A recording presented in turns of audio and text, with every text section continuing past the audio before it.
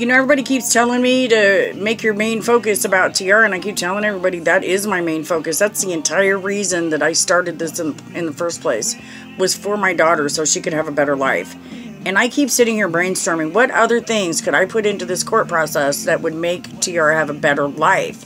You know, um, they're acting like I'm just wrong for this, but I want to make sure I cross all my T's and dot all my I's because Tiara is my biggest priority. Here's my problem with these guys though. I haven't seen them do a single thing yet that was genuinely within the best interest of Tiara and her life.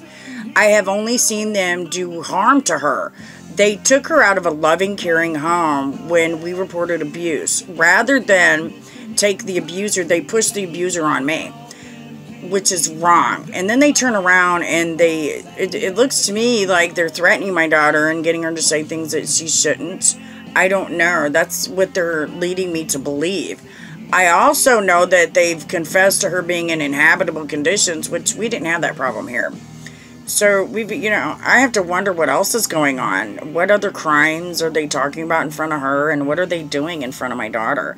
Because just the simple fact that they have her is abusive, especially when she's in an environment that's unclean and unhealthy, according to their own admission. Then to top it off, we got a situation where we know they hate her mother. So are they even treating her correctly? You know, I got to think about that too. Don't think I haven't thought of every last detail where my daughter's concerned.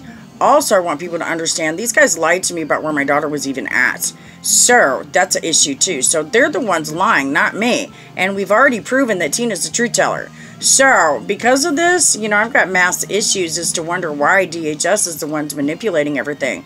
It sounds to me like they should be the ones in the seat that I'm in, and I should be the ones prosecuting them. That's real talk, and that's concerning to me.